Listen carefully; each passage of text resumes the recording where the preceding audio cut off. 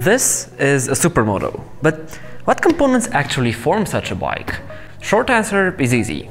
Take a dirt bike, put it on street wheels, and voila, you have a supermoto. Okay, maybe there's a little more to it. If that was just it, this video would be utterly pointless. These bikes usually don't come like this from the factory, but more often than not are enduro or motocross bikes that are converted for street use. It might seem a little odd that something that was made to be deliberately bad on the road can be turned into something so magnificent on the pavement, but even big manufacturers do it. For example, Husqvarna, KTM and Suzuki have long been offering already converted dirt bikes. As a little disclaimer, in this video I'm talking more about the hardcore purpose-built sumos and not about the 600cc and up bikes that some manufacturers do.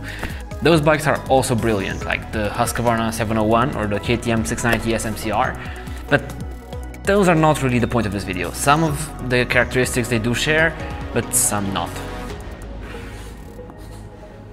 Case in point, engine size. The most popular displacement is going to be 450cc, but 250s are also a decent part of the market. The reason is simple, these bikes are powerful enough to allow for proper street riding.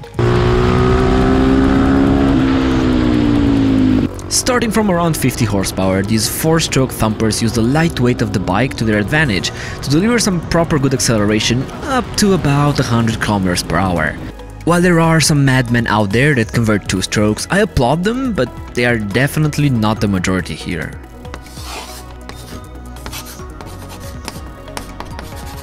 Arguably the most important aspect is wheels.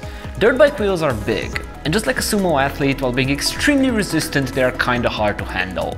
Big means a lot of mass that needs to be leaned into corners, and that's no bueno. The answer to this problem is simple. Just put regular street wheels on. Usually this will consist of a 17-inch pair of rims, but sometimes for racing, some people do opt for a smaller 16.5-inch front wheel, like in the case with my Steed. Another thing to note, these wheels are usually tubeless, so no need to keep around your rusty tubes. Up to here is the bare minimum that a bike needs to have in order to be considered a supermoto. But I would argue that's not quite enough. Yes, you can ride this on the street, but this is not the proper sumo experience everyone is raving about. For that, you're gonna have to dive in a bit deeper. And deeper in this case means tapping into the braking system. While the regular brakes are fine for off-road use, they are not designed for repeated stops at high speeds. In order to mitigate this, the bigger front discs are a necessity. And also, if you really want to do it properly, changing the caliper and the master cylinder to a beefier aftermarket version is recommended. Now, rear brake upgrades are a thing, but I believe that a well-maintained factory system can be enough. The front brake takes most of the punishment on the bike, and I would say that as long as you're able to easily lock the rear with the stock braking system, you probably don't need to do an upgrade there.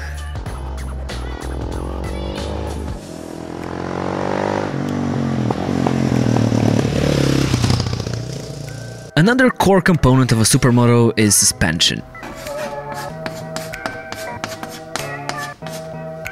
The issue with stock is that more often than not, the stock forks and shocks are going to be way too plush. That is great for taking every little bump on a single track, but on the road or racetrack, you want something a little stiffer. There are multiple options for this, you can change a lot of parts, but basically an internal component change can be enough. But also note that there are aftermarket options out there, like this Öhlins shock I have in the back. These straight upgrades will greatly improve the stability that your bike has, and with it, your track times, if you decide to endeavor into that realm.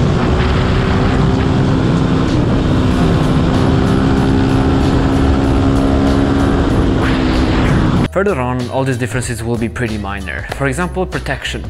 Well, just like real life, it's really important to use. On the street, you don't really need beefy handguards or bash plates, and this will also help with keeping the bike's weight down, which is good.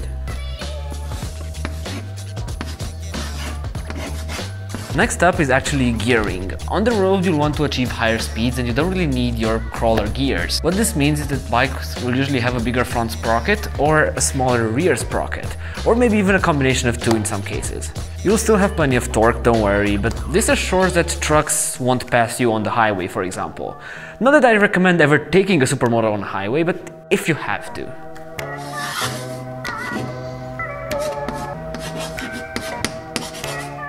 Plastics can be slightly different. Basically, you don't need such a big front mudguard that would just catch the wind at every opportunity, so a lot of people take a saw to it and make it shorter.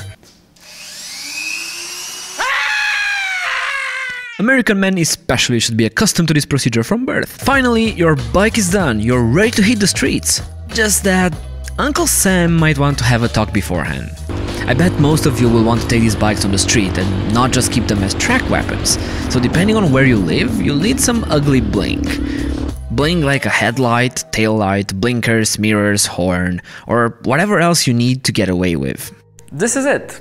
Now, a lot of people don't realize the sum of components that goes into such a bike, but I hope this video helped clear some things up. And for more supermoto content and bike related content in general, make sure to follow this channel, give it a subscribe, and also click the bell icon. Also like it and leave a comment if you think I left something out, I'm really curious to see your opinions on it. That being said, we also released a new episode of KRANKCast, which is gonna be our weekly KRANKiT podcast. We're gonna talk about news and about different story times from the Marvel marvelous motorcycling world. If you're into bikes, I'm sure you'll love it. Until next time though, see you soon.